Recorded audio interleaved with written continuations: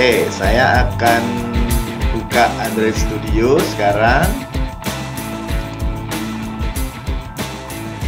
Ya, teman-teman bisa mencoba. Baik teman-teman, kita akan mencoba untuk memahami lebih lanjut tentang uh, activity, kemudian layout, kemudian juga komponen view ya di dalam Android Studio ini. Nah, ini saya sudah membuat satu project baru yang masih kosong, belum saya isi apa-apa begitu. Uh, projectnya adalah percobaan dua. Nah, kita bisa lihat di layout ya teman-teman ya. Pada layout itu kalau kita lihat code-nya ya defaultnya adalah constraint layout. Nah, constraint layout ini merupakan layout yang uh, lebih fleksibel sebenarnya ya, tetapi tingkatnya sudah agak lanjut begitu. kita akan mulai dari linear layout tadi ya. Bagaimana kita bisa mengetahui ini adalah constraint layout, teman-teman? Nah, kita bisa lihat di sini. Nah, ini Android constraint layout ya. Nah, widget yang dipanggil adalah constraint layout. Kemudian juga di sini ada uh, constraint bottom, constraint left, constraint right dan seterusnya. Ini adalah constraint layout. Nah, kita akan coba dulu layout yang pertama yaitu linear layout. Nah, jadi ini kita hapus saja, tidak apa-apa, dihapus saja boleh. Itu uh, kita hapus. Nah, kemudian saya akan ambil uh, code-nya linear layout ya. Nah, ini kita gunakan linear layout. Ya. Layout yang paling simple, yang paling sederhana. Kemudian kalau kita membuat layout gitu, paling bawah juga di close dengan uh, linear layout pastinya. Close tag-nya ya di sini. Nah. Oke. Okay. Nah, ini adalah linear layout ya teman-teman ya. Jadi kalau kita lihat di sini, kita lihat di desain, nah sudah kita belum ini belum ada apa-apanya, coba kita bisa uh, view, uh, nah, oke, okay. Biar agak besar tampilannya, nah seperti ini. Nanti di di bawahnya sini kita akan isi dengan komponen-komponen uh, view yang kita inginkan, ya. Ini adalah model XML dari linear layout. Kemudian nanti di dalamnya sinilah kita mengisi komponen-komponen yang kita inginkan.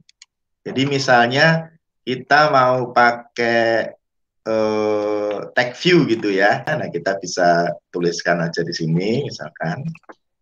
Nah, ini adalah tag view yang pertama. Nah, misalnya tampilan pertama misalnya ya. Nih, ini adalah tag view kita yang pertama. Width and height ini untuk mengatur panjang dan lebar komponennya ya. Sebenarnya kita juga bisa langsung dari sini, tidak apa-apa. Kita tarik dari sini, kita perkecil dari sini, atau kita perbesar dari sini, tidak masalah. Gitu. Jadi dia akan mengikuti. Ya. Nah, seperti ini. Ya. Oke. Kemudian ada auto size tag type uniform ini artinya teksnya akan mengikuti ukuran objeknya, tag view-nya. Tapi kalau ini kita hilangkan, misalnya gitu, maka nanti itu, ukurannya akan default. Nah, defaultnya seperti ini. Tapi kalau kita tambahkan uh, auto size tag type uniform, mau kita drag lebih besar juga ukurannya akan mengikuti seperti itu. Itu ya. Itu ya teman-teman ya. Nah, kalau kita mau menambahkan teks lagi bagaimana? Ya kalau kita mau menambahkan teks lagi, ya kita harus copy semuanya dari mulai ini. Karena ini adalah satu satu tag view beserta dengan uh, atribut-atributnya gitu. Ya, jadi seperti itu. Saya mau nambah lagi di bawah. Tak copy aja. Oke, copy. Kemudian saya paste di sini. Nah, misalnya eh, di sini kita bisa atur kalau kita nggak mau ngikuti uniformnya, misalnya ya. Nah, misalnya seperti itu. Nah, kita bisa pakai Android text size di sini. Kalau auto size kan dia ukurannya mengikuti besarnya uh, komponen ya. Tetapi kalau seperti ini, uh, kita bisa buat ukuran sendiri sesuai dengan ukuran yang kita inginkan. Tampilan kedua misalnya. Nah, seperti semacam itu. Ya, tampilan pertama, tampilan kedua. Ya, kemudian misalnya kita mau buat dia alignmentnya center, ya sudah kita tambahkan saja Android alignment eh, center, gitu. Ya, nah, seperti itu. Nah, gitu. Jadi dia akan uh, ke tengah tampilannya. Nah, seperti itu ya, teman-teman. Nah, kemudian ada selectable ya. Selectable ini apakah teks itu bisa kita klik apa enggak gitu kan? Bisa kita klik apa enggak? Kalau Android tag is selectable true berarti nanti teksnya itu bisa diklik. Nah, seperti ini. Bisa diklik. Tapi kalau selectable-nya ini false nanti dia nggak bisa diklik gitu. Nah, itu untuk uh, tag view. Seperti itu. Nah, kalau kita mau buat lagi ya harus di copy lagi begitu. Misalkan ini tampilan ketiga begitu ya. Ketiga misalnya. Nah. Oke, nah kita bisa menambahkan misalnya uh, background ya. Nah, kita tambahkan misalnya Android background color. Nah, ini adalah kode untuk warna merah. Nah, teman-teman bisa cari di internet kalau pengen mau warna uh, merah kodenya apa, hitam kodenya apa. Nah, kita bisa cari di internet kan banyak seperti itu. Nah, kemudian misalnya kita mau teksnya mau kita ubah. Ini kan backgroundnya kan merah. Kita misalkan pengen teksnya warna putih misalnya ya. Nah, kita bisa uh, copy. Nah, seperti itu. Teksnya warna apa? Backgroundnya warna apa? Oke, jadi kita bisa membuat uh, background dan teksnya punya warna yang berbeda misalnya. Jadi setiap kali kita membuat uh, komponen baru ya harus diikuti dengan properties dari komponen-komponen tersebut. Nah sekarang kita akan coba untuk uh, menambahkan gambar misalnya. Oke, saya akan menambahkan logo KSW. Saya ambil logonya. Kemudian logonya itu harus di save dengan nama PNG ya teman-teman ya. Tadi ada di percobaan dua ya. Percobaan dua. Kemudian kita buat folder untuk menyimpan gambarnya atau logonya. Kemudian logonya disimpan dengan PNG, dengan ekstensi PNG. Ya, misalnya logo FTI misalnya. Boleh. Nah, tapi ekstensinya disimpan dengan PNG supaya dia bisa uh, dibaca oleh Android Studio dan lebih ringan gitu. Oke, logonya ada di mana? Ada di sini. Percobaan dua gambar ya.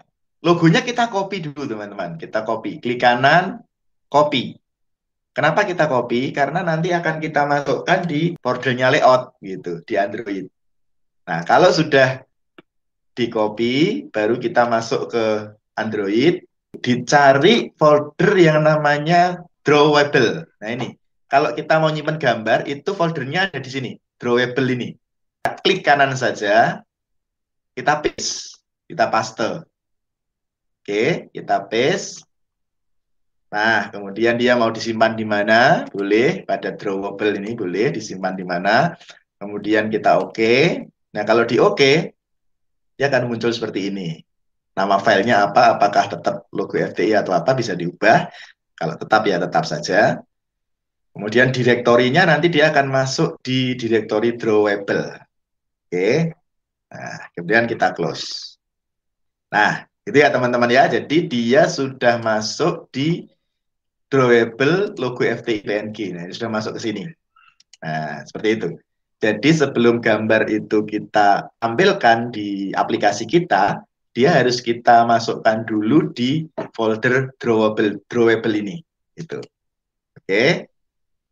Nah, kemudian kita akan mengambil gambar yang sudah ada di drawable tersebut untuk tampil di layout kita di activity ini kita buka. Nah, untuk men mengambil gambar kita menggunakan yang namanya image view menggunakan komponen yang namanya image view. Oke. Nah, Android SRC-nya mengambil uh, nama file yang tadi ada di, di drawable. Berarti Android SRC drawable logo FTI. Nah, nah dia sudah tampil di sini. Nah, ini gitu teman-teman caranya. Jadi supaya uh, nah hiknya ini bisa diatur apakah mau di, dikecilkan atau nah supaya dia ukurannya seberapa ya. Nah, seperti ini.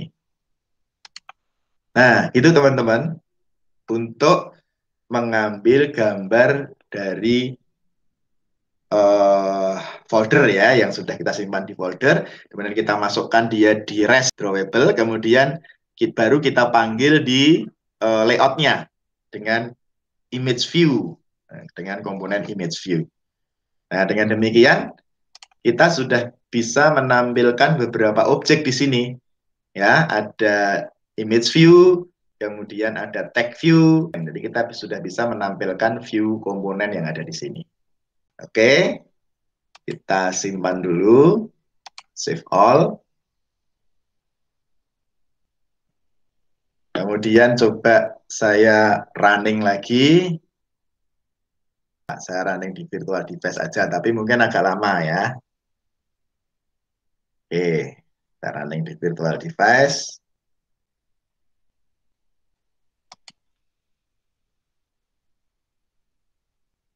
Launching app application.